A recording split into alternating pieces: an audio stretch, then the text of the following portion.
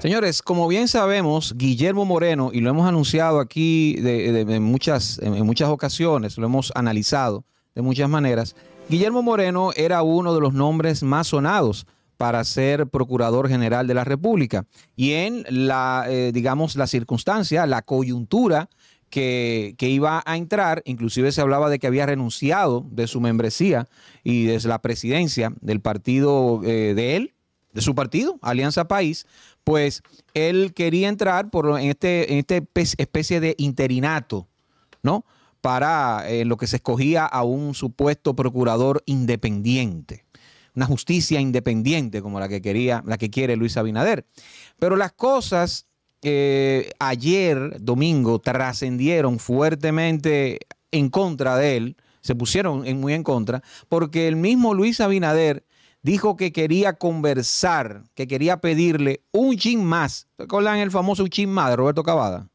Ese chin más quería, quería pedirle para que se quede en lo que se hace la transición hacia un ministerio público independiente. Se quede doña Miriam. Que se quede doña Miriam ahí mientras tanto. Entonces, las vainas se han complicado. Para hablar de este tema, reforma de la justicia, reforma fiscal y otras cosas de, suma importancia, pues nos acompaña ya un habitué de nuestro espacio, el analista económico, analista político, Wandy Ramírez Valenzuela. ¿Cómo estás, hermano? Muy bien, muchas gracias, Edwin, Mario, Maracayo. Gracias. Acá para servirlos. Cuéntame, ¿qué opinas, ¿qué opinas de esta coyuntura ahora? Ay, ay, ay. Difícil, ¿eh? Mira, yo eh, me gustaría decir que, que no entiendo todo este, toda esta confusión que tiene el presidente Abinader en su cabeza con todos estos temas. La verdad es que obviamente él tiene que buscar a alguien que le cuide el pellejo que les cuide la espalda cuando Él no esté en su gloria. Y obviamente, eh, o aparentemente, esta es la, la razón eh, por la cual él anda con, con todo este asunto, porque todo esto de la reforma eh, que si eh, un fiscal independiente, que si un ministerio público independiente, todos los juristas coinciden, y ustedes han traído algunos acá, en que el ministerio público es ya independiente. O sea, no, no es eso lo que él anda buscando en realidad. En realidad él anda buscando cuidar su pellejo cuando salga eh, del gobierno que tendrá que salir en algún momento. Él dice que no va, yo digo que debería ir o está obligado a ir eh, por su situación delicada, basada eh, básicamente en las premisas por cómo él llegó al, al poder. Eso es lo que veo en cuanto a este tema del Ministerio Público y a toda e, esta insistencia de una reforma constitucional eh, jalada por los moños, porque si ustedes se ponen a analizar, es una reforma absurda, en mi opinión, no hace ningún sentido. Y eh, si tú te pones a ver, eh, este país está confrontando una serie de situaciones delicadas y peligrosas, eh, que es en lo que deberíamos estar poniéndole atención. todo mundo, o sea, tú te pones a ver y la situación de la economía es difícil, complicada. El dólar esta semana eh, sigue, sigue subiendo. Eh, ya hemos ilustrado aquí eh, la situación en cuanto a, la dimensión económica. El Banco de Reservas eh, sigue en una situación delicada. El Banco Central hace público que tiene un hoyo que es el doble de, de Baninter. más esto aparte de las reservas internacionales que bajaron, primero dijeron 6 mil y luego trataron, han tratado de ocultar la información en que son 3 mil. De todos modos, estamos hablando entre 5 mil y 8 mil millones de dólares que tú no sabes dónde están. Aparte de los 40 mil que, que, se han tomado prestados. Entonces, aquí hay situaciones más difíciles en, en la dimensión económica, por ejemplo, Sí. eh, está el tema energético, aquí hay apagones eh, a nivel nacional en todas partes por, por más de 24 horas. Tú sabes que, El escu- tema, escúchame, Wandy, como una nota de color ahí, en eso que tú decías de, de los apagones, cuando ganó Marilady Paulino, ella dijo allá en Francia que le informaron que no la pudieron ver, no la pudieron ver muchos dominicanos porque se fue la luz. Este, es grave la situación. Así, así lo dijo. Eh, el tema del transporte es un caos. eh, el presidente hace un allante ayer en Santiago. eh, pero aquí tenemos una situación fea, ¿tú entiendes? O sea, aquí, eh, aquí hay tra- tapón, como se dice popularmente, 24, eh, 20 horas de 24. O sea, entonces, mm, están hablando de reforma eh, para entretener, o sea, porque esa es la situación delicada que el presidente quiere resolver. O sea, él se religió eh, de manera eh, manipulando unas elecciones, como hemos demostrado. Eh, y ahora su prioridad, la de él, es cuidar su pellejo, porque eh, en algún momento le van a entrar.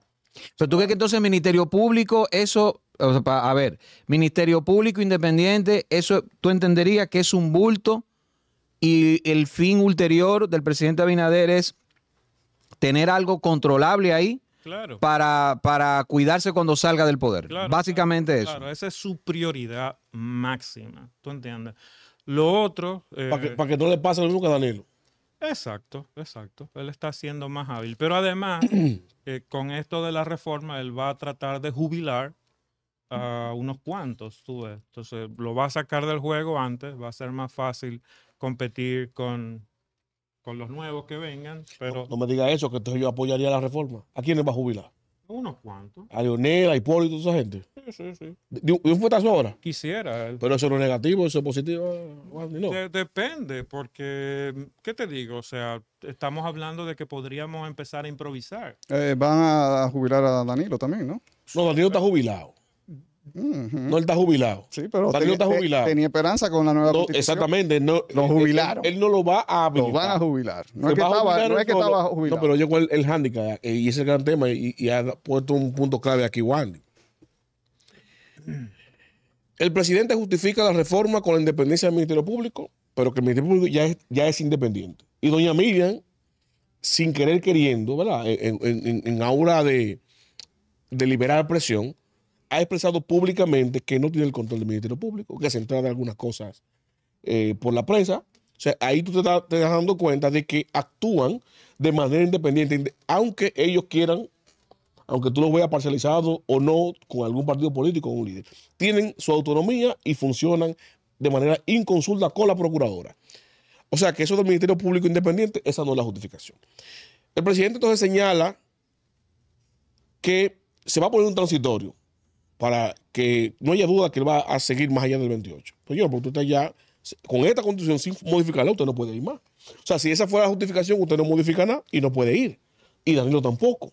Eh, eh, O sea, que el fin ulterior, ahí yo se, se la compro a Wandy como me dice que es Soto. Ahora, la consulta es, Wandy, ¿a qué tú pi- piensas entonces que dado esta situación y este interés del presidente, el presidente ahora que, ha trascendido el hecho de que eh, él iba a poner transitoriamente ahí a Guillermo Moreno, esa era su idea, pero se ha armado un lío mediático de chivatazos y de pugnas internas y reclamos que yo escuché inclusive al doctor Nieves decir, el perfil de Miriam Germán en la Procuraduría sienta un precedente inviolable para cualquier presidente en el futuro, que es que se puso una persona ahí no político partidaria. O sea, el presidente tiene ese peso arriba de que una advertencia de que la prensa fuerte tradicional le va a caer encima si pone un perfil político. Y eso lo pone en jaque con el tema de Guillermo Moreno. Entonces, ha trascendido que el presidente dijo inclusive ahora que le va a pedir un chin más a doña Miriam. ¿A qué tú crees que va orientado ese chin más a doña Miriam? ¿Temor al- al- al- a lo mediático? ¿Verdad? ¿O consenso o algún tipo de negociaciones para finalmente pasar su reforma con el Ministerio Público independiente? Mira, hay, hay muchas cosas ahí. Eh, quiero decir que si, si el presidente no logra meter la reforma, y yo entiendo que, yo sé que ustedes me van a, hacer preguntas inmediatamente sobre esto. si el presidente no logra meter la reforma y la oposición debe activarse para que no la meta, porque esta es una conspiración contra la oposición. Ujú. Ok. Eh, si él no logra meter la reforma constitucional, pues entonces él está obligado a aspirar en el 28 y hacer los ajustes que tenga que hacer.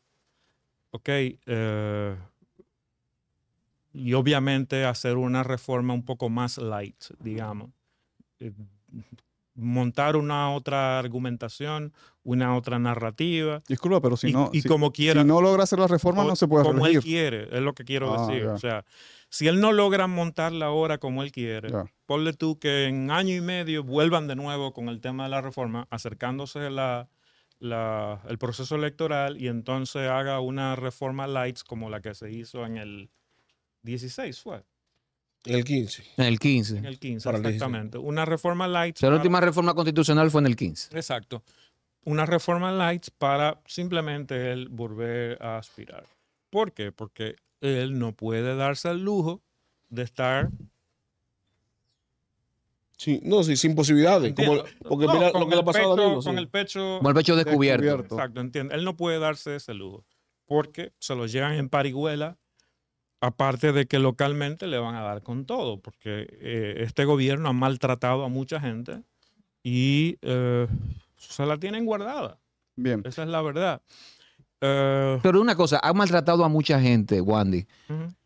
Políticos, empresarios también. Claro, todo el mundo.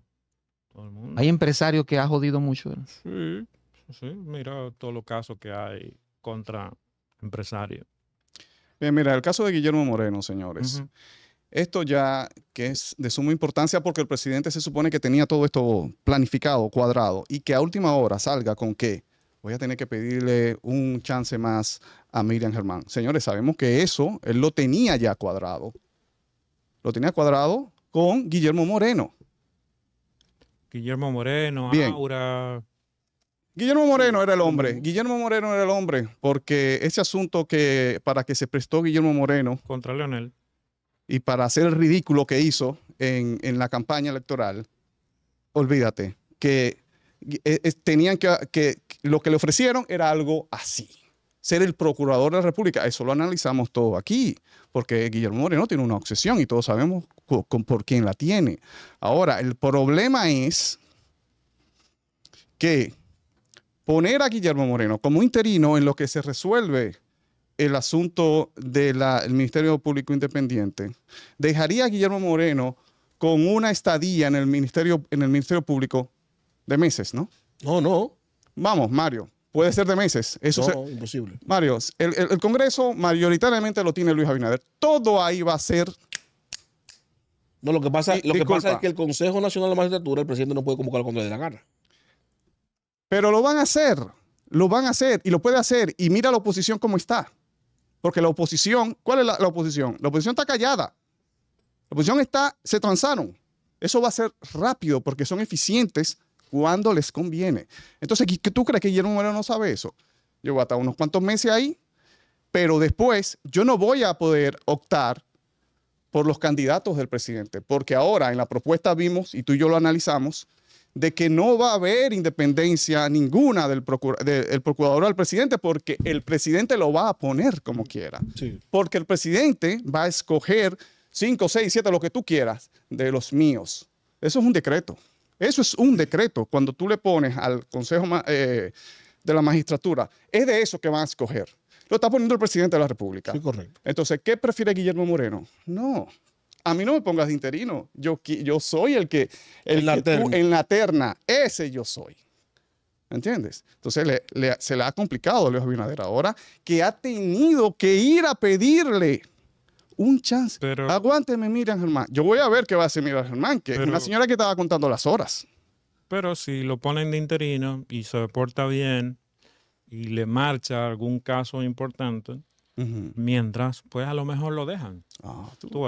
¿Quién sabe? Eso también, Pero- él- él- él- yo iba a decir eso, que no Pero- importa que te- eso no, una cosa no quita la otra. Él puede ser interino y puede estar en la tele. Sí, pero tú sabes el cuco que le han metido a Luis Abinader, que tú mismo lo has dicho aquí. Guillermo le va a hacer un lío. de una vez. Y cuando tenga esa independencia ya por constitución, Eso le es, puede le hacer lío. adelante eso, a, a Luis. eso ustedes lo han requete analizado aquí. Eso sería un grave error. De Luis. Eh, Hace un tiro en el pie. Exacto, porque, ¿qué te digo? O sea, el Ministerio Público es parte de- del Poder Ejecutivo y debería eh, Ser así, seguir siendo. seguir siendo así. O sea, en, en otros países es, es parte de- del Estado, Del ejecutivo, etcétera, ejecutivo. del Ejecutivo. Y, y donde, y, y donde no lo es, que tiene esta modalidad que se elige así, como Perú, la ha ido muy mal. El caos. Un- Y, un- y- un y hay- desastre. y hay algunos países de Europa en donde, eh, pues, eh, el lawfare, pues, es marcadísimo precisamente por esto, porque se le da un suprapoder a, a gente que terminan siendo una, una dictadura. O sea, ellos terminan imponiendo las cosas. Yo siempre pongo el caso de, de Italia, Silvio Berlusconi. eh, le hicieron una persecución eh, desde que salió hasta que murió. ¿Tú entiendes? Entonces, e- esos modelos eh, retrasan, si se quiere, un poco el desarrollo bajo la excusa de eh, la lucha contra la corrupción.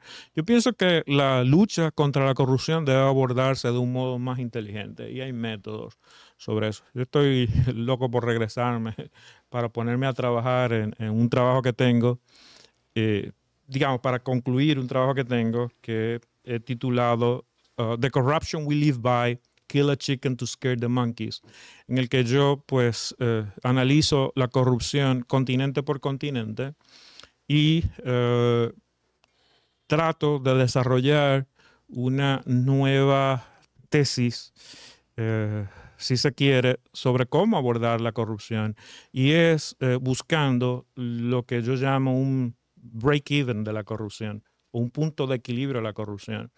Es decir, ¿cuál es el punto de corrupción que debe tener un país para que no impida el crecimiento y el desarrollo? Qué bueno que tú dices eso, eh, porque, eh, eh, Wandy, porque la gente tiene la ilusión de que un país sin corrupción avanza.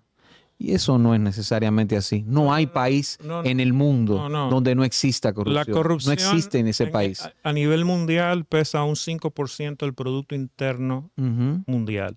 Estamos hablando que en 100, 105 trillones de dólares, que debe ser más o menos el, el PIB global, eh, estamos hablando de que pesa 5 trillones eh, el nivel de corrupción.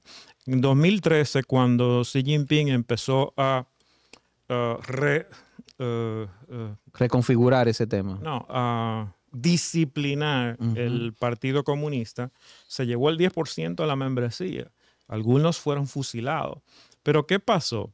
Que la economía en el segmento lujo se cayó 30%. Exacto. Entonces, entonces, eso es, aquí, eso por es. ejemplo, hay una tienda en la Churchill que vende un millón de dólares diarios. Ujú. Carpe- eh, carteras, relojes, etcétera. ¿Quiénes son los que compran esas carteras, relojes?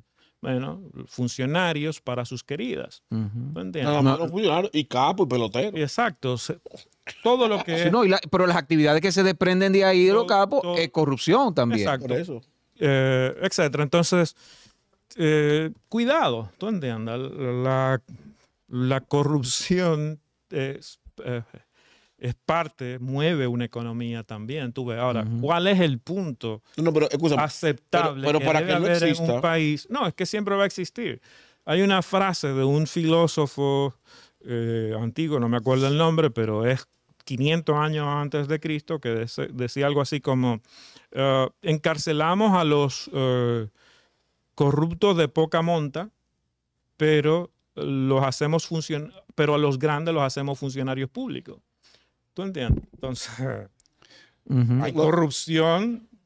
La pregunta sería, Este- eh, la pregunta sería, eh, Wandy, Sí. si estaríamos dispuestos, yo votaría porque sí, si estaríamos dispuestos a que se pierda el- e- ese porcentaje de la economía que mueve la corrupción para que no haya, o sea, que se vaya el 30% de la economía de lujo y que, que- que se pierda esa economía de corrupción si no va a haber. No sé si tú me entiendes, si no va a haber. O sea, lo, yo- lo- lo lamentable es, sería que repercute el, el económico, un 30% de la economía de lujo, que repercuta en un segmento de la población que trabaja eh, eh, pagada por esa corrupción y que permanezca. Lo, Claro. lo- lo importante. Yo estaría dispuesto al sacrificio. Lo si no importante, vamos, yo he, he- he mencionado un caso, un segmento dentro de la economía, pero lo importante es generar confianza en un país para que llegue la inversión, tú ves que el Estado de Derecho exista. Fíjate tú, por ejemplo, en Brasil, antes de Lula, y Lula sacó más de 30 millones de personas eh, de la pobreza. eh, pues eh, se trabajó este tema generando confianza en- en la justicia. Tú ves.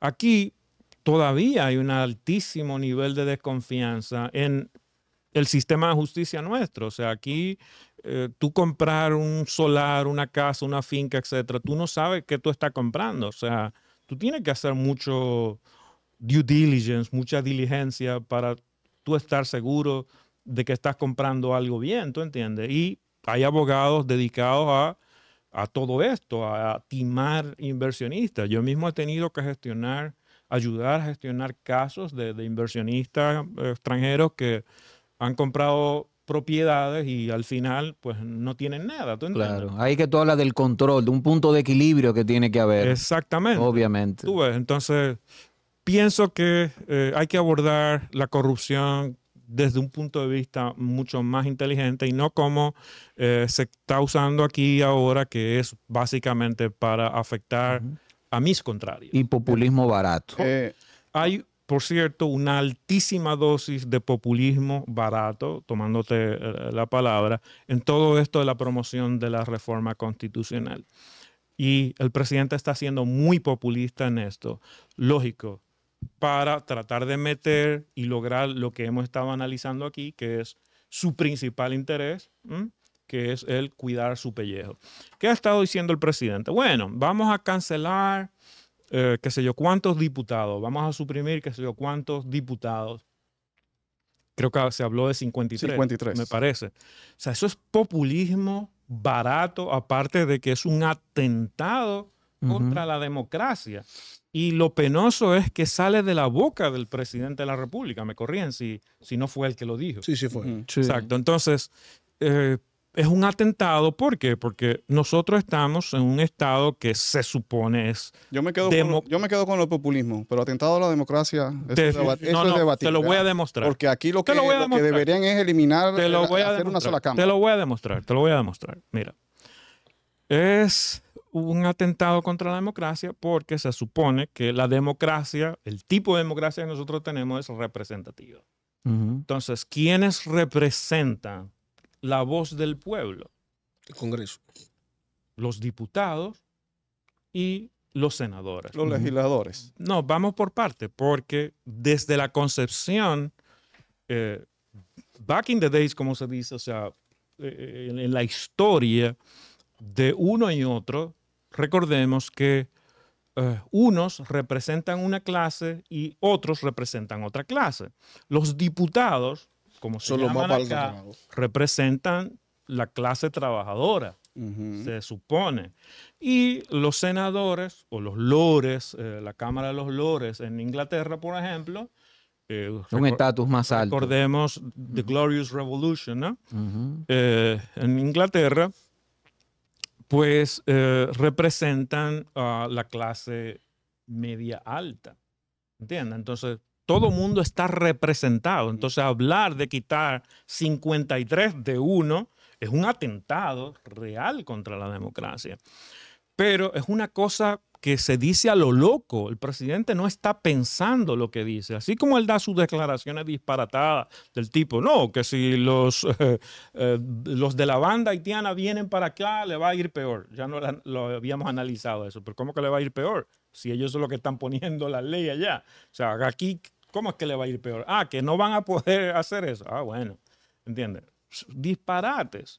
Eh, pero yo tengo acá, por ejemplo, un- una referencia que habla del sistema constitucional dominicano y hace un análisis comparado. Julio Brea Franco. Sí, hace un análisis comparado de eh, diferentes sistemas constitucionales de la región y, por ejemplo, eh, cita el caso de Brasil, que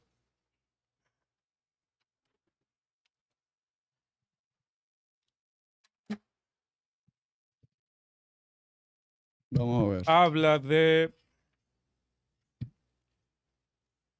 que se elige un representante, un diputado, por cada 100 mil habitantes. Entonces, ¿de dónde saca el presidente Abinader eh, eh, que puede cancelar de un plumazo 53 eh, congresistas, 53 diputados? Tú entonces, en este análisis comparado, eh,